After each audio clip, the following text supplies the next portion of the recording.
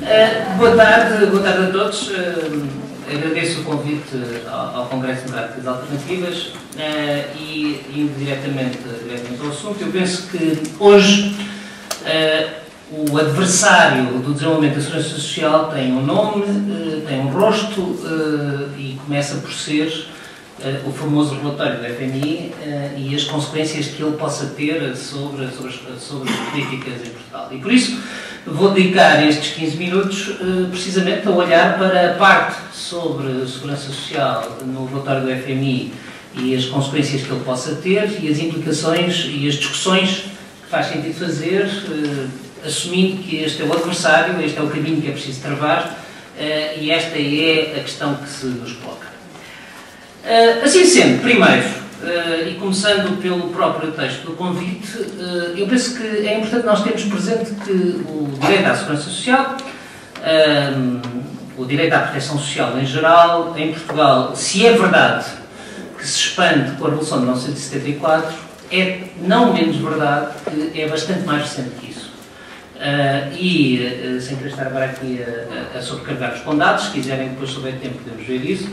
Eh, nós temos que ter consciência que nós temos aqui um período pré-25 de Abril, em que há uma segurança social previdencial no sentido clássico, neocorporativo, eh, circunscrito. Temos um período entre o 25 de Abril e sensivelmente 1990, em que temos o direito formal à segurança social e as bases do que virá a ser o regime, mas objetivamente eh, é a partir do fim dos anos 80, é a partir de 1990, que nós podemos dizer que acaba, acaba em Portugal o debate sobre se há ou não há Estado de Providência se há ou não há, uh, digamos, o conjunto, o conjunto de benefícios do Estado de Previdência. E, portanto, do ponto de vista dos impactos uh, económicos, orçamentais e sociais, essencialmente nós estamos a falar de uma experiência que é uma experiência dos últimos 20, 25 anos, uh, depois da nossa entrada na União Europeia e com consequências orçamentais sérias a partir de 1900, 1990.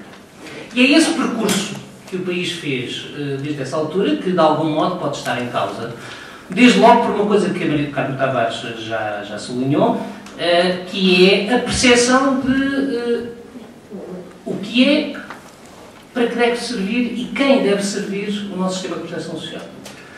Porque quando, como por exemplo se faz no relatório da FMI, se assume que o sistema de proteção social deve estar inteiramente focado em combater a pobreza, e eu estou muito à vontade, porque se há alguém que pode dizer que procurou dar o seu melhor numa certa fase da sua vida para combater a pobreza em Portugal, eu penso que posso reivindicar estar nesse grupo.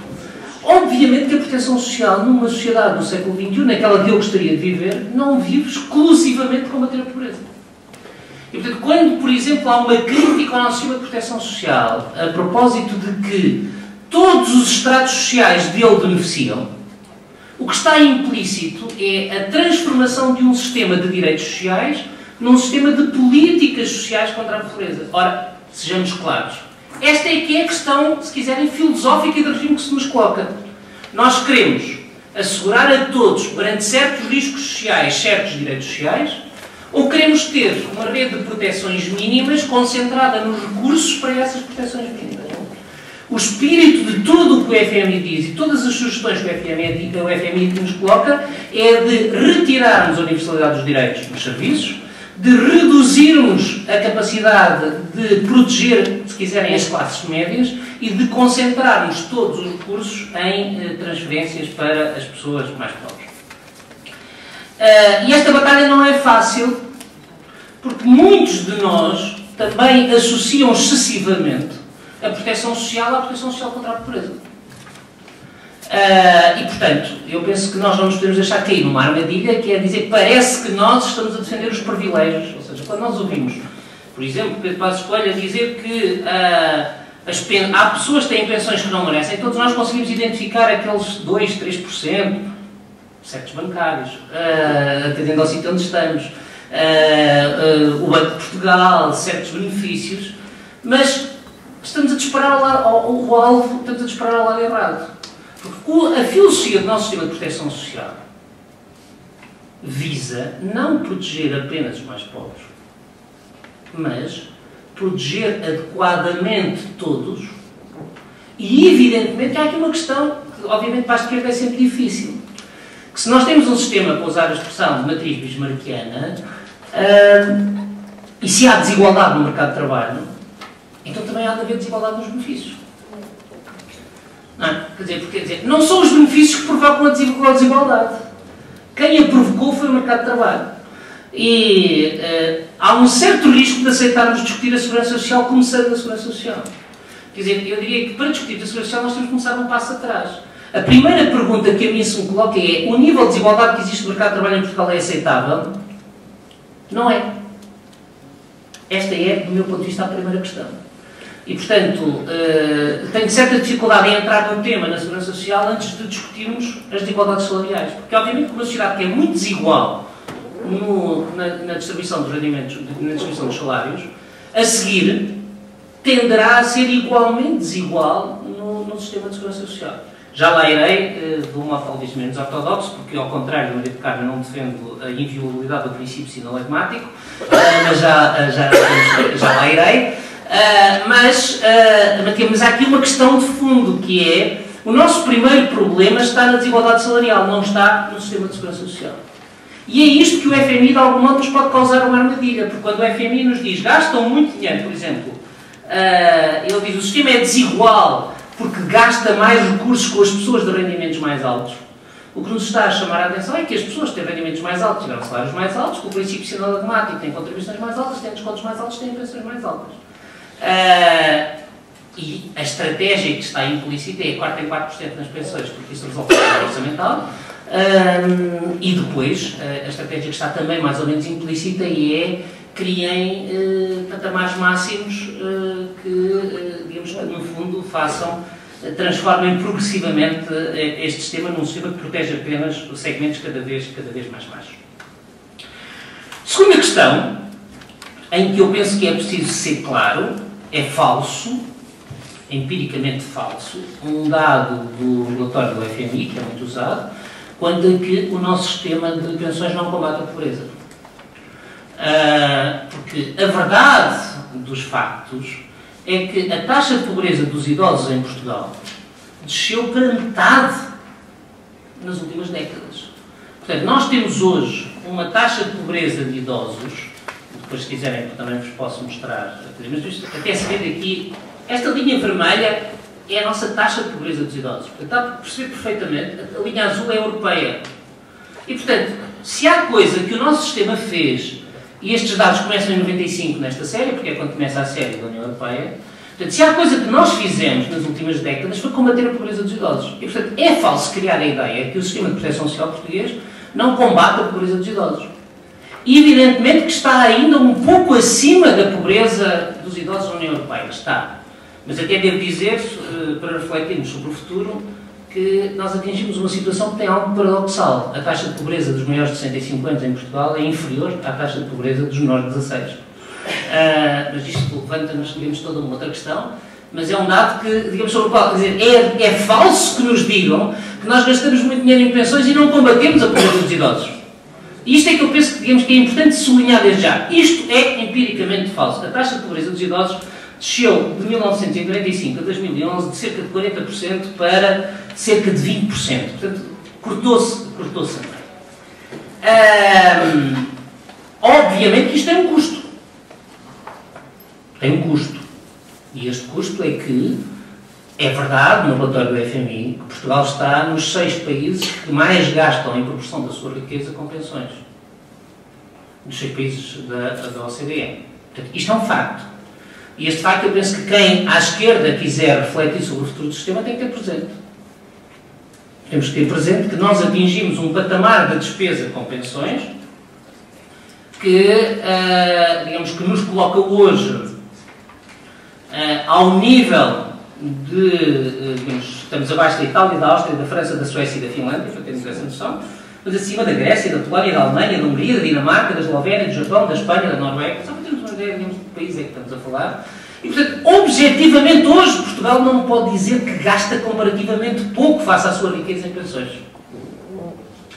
O que, do meu ponto de vista, e é a proposta mais heterodoxa que eu teria para fazer aqui hoje, levanta uma questão à esquerda, também honestamente não é nova, nem foi lançada por mim, é a questão que, em 1995, quando o primeiro governo Duterte, o ministro Ferro Rodrigues, o então ministro Ferro Rodrigues foi ministro, se nos colocou, e que, do meu ponto de vista, eh, se mantém em cima da mesa para debate, que é de saber se nós devemos fazer redistribuição apenas porque os impostos são progressivos, ou se, atendendo a estes níveis e à profunda desigualdade social, à, profunda desigualdade salarial na sociedade portuguesa, devemos, em algumas áreas, segurança social incluída, fazer também redistribuição por pagamentos regressivos.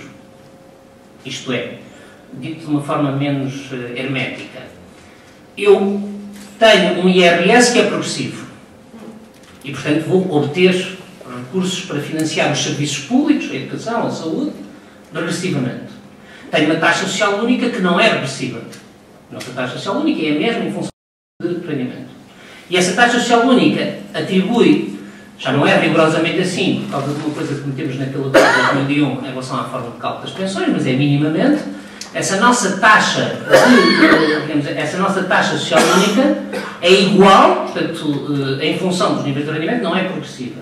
E as pensões têm uma taxa de substituição tendencialmente igual também. Tendencialmente igual.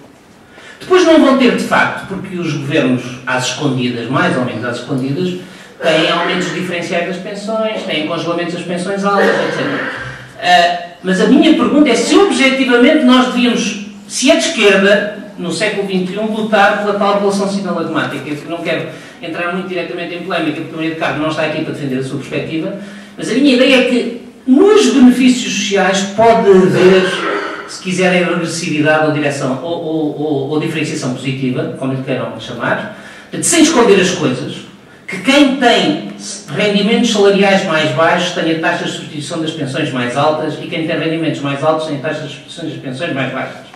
Não é a mesma coisa que congelamentos ou que, uh, digamos, ou que introdução de plafons, mas é a existência de taxas regressivas nos benefícios que aumentem esta, digamos, que diminuam o leque de desigualdades que deriva da desigualdade salarial que ela própria é excessiva. É evidente que esta é uma solução, é uma segunda eh, se quiserem, é uma solução de segunda linha, porque esta solução é tentar, não, é, não direi resolver, mas é colocar nas pensões um remédio a uma desigualdade que não foi produzida nas pensões, digamos, foi produzida, foi produzida, tenho ainda 3 minutos, uh, e portanto, uh, gostava de, se quiserem, o meu contributo, eu poderia acabar aqui, o meu contributo para a discussão é de que nós devemos discutir o que é que deve ser universal e tendencialmente gratuito ou gratuito, nomeadamente na área dos serviços, o que é que deve ser uh, o combate à pobreza, à exclusão através dos mínimos sociais e o que é que são direitos sociais transversais e em relação aos quais nós devemos discutir se consideramos que à esquerda devemos insistir tudo na progressividade dos impostos ou podemos discutir uma fórmula combinada de progressividade dos impostos e regressividade dos benefícios. Começando pelos serviços, eu penso que, uh, digamos, é muito rápido, porque penso que nem sequer é o tópico central de hoje, começando pelos serviços, claramente uh, é preciso dizer uma coisa. O Estado de Providência português não é gordo em termos internacionais. Também já não é residual, mas não é gordo. E, portanto, esta é outra das, eh, das falácias, das mentiras, se quiserem, que o relatório do FMI tem, que é dar-nos a ideia de que nós temos um Estado de Providência demasiado gordo face ao nosso nível, digamos, face ao nosso nível. Devo dizer-vos, só para terem uma ideia, de que nós podemos dizer assim, Portugal em 1980 tinha um, um, uma despesa social que era menos de metade da alemã. Hoje tem uma despesa social que é apenas 4% do PIB inferior à alemã, mas ainda não é superior. Ou seja, nós deixamos de ser um Estado de Providência débil, mas é falso que em termos comparativos internacionais, quando comparamos com os nossos parceiros, seja no estado de providência, chamamos assim, seja no conjunto da despesa social, que Portugal gasta, face à sua riqueza, mais do que os seus parceiros. Não é essa a questão. Evidentemente que, se nós quisermos cortá-lo, podemos sempre cortá-lo. Mas não é aqui que nós temos a gastar mais, não é aqui que está uma despesa pública gorda por relação, por relação aos nossos parceiros. Isto tem consequências. Nomeadamente, por exemplo, na despesa com serviços públicos. A despesa com serviços públicos, nós temos sempre que discutir a sua eficiência. Não temos. Havia um deputado inglês que dizia não há nada de socialista em gastar mal o dinheiro dos impostos. Uh, e estou convencido disso. Uh, nós temos sempre que discutir a eficiência da despesa, mas o volume da despesa português não é comparativamente, uh, digamos, não é gordo. é evidente que eu gostaria que a nossa despesa em educação nos desse melhores níveis de frequência e sucesso escolar. Essa é outra questão. Agora, não é cortando a despesa na educação que nós vamos ter melhores níveis de sucesso, de sucesso escolar. Um, e, portanto, isto diz respeito, aliás, a propósito aos ataques à saúde, e, portanto, numa frase, depois se quiserem, podemos voltar a isto no debate, uh, o ataque que se faz aos serviços públicos uh, na área social é, de facto, ideológico, não deriva de insustentabilidade financeira. E, portanto, se quiserem, depois posso fundamentar esta tese. Uh, a questão da luta contra a pobreza, eu acho que há aqui uma frase no, no relatório do FMI, assim, em qualquer relatório há uma frase que nós podemos defender, não é? Portanto, Uh, e, portanto, o relatório do FMI diz uma coisa espetacular sobre os nossos programas de luta contra a pobreza. É que não gastamos muito dinheiro.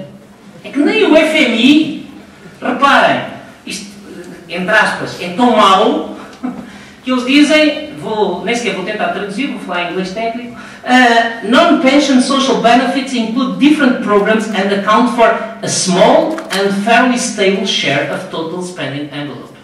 Isto é, é o FMI que carimba os nossos programas de, marcadamente redistributivos de serem estáveis, serem estáveis e gastarem uma pequena parte dos recursos. E, portanto, eu diria, quanto ao nosso adversário de hoje, este assunto fica arrumado. Depois, obviamente, há as questões ideológicas, do trabalho, da ativação, digamos, digamos, é evidente que quando depois entramos na ideologia há sempre qualquer, qualquer frase para escrever.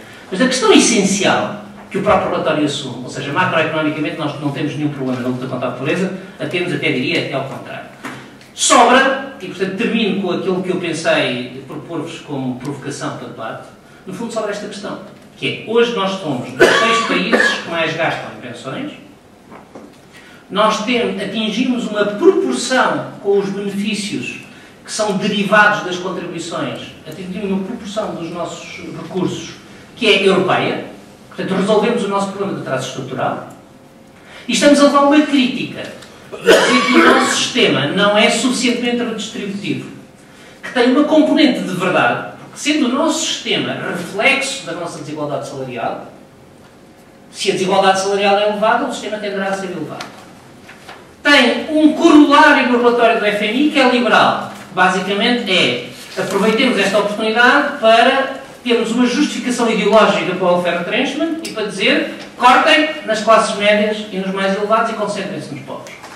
O que seria destruir o sistema de segurança social tal qual ele está construído desde a Constituição. Mas tem também, na minha opinião, de uma parte de nós, e não quero criticar Maria de Carmo, porque ela não está cá para se defender, mas de uma parte de nós, incluindo as centrais sindicais, tem também uma defesa que, do meu ponto de vista, parece pouco razoável, que é esta defesa de tal relação sinalagmática, que no fundo diz tenha eu que rendimento estiver, os meus benefícios devem ser proporcionais aos meus descontos. E apenas como debate para a discussão, eu diria que julgo que seria democrático, que seria de esquerda, que seria progressista, dizer, sabendo nós que as desigualdades salariais existem, deveria haver controladamente e da nossa própria responsabilidade a introdução de taxas regressivas que não fossem nem opacas, nem arbitrárias, mas no fundo nos dissessem isto, já que a progressividade dos impostos aqui não funciona, que funcione também a redistribuição dos benefícios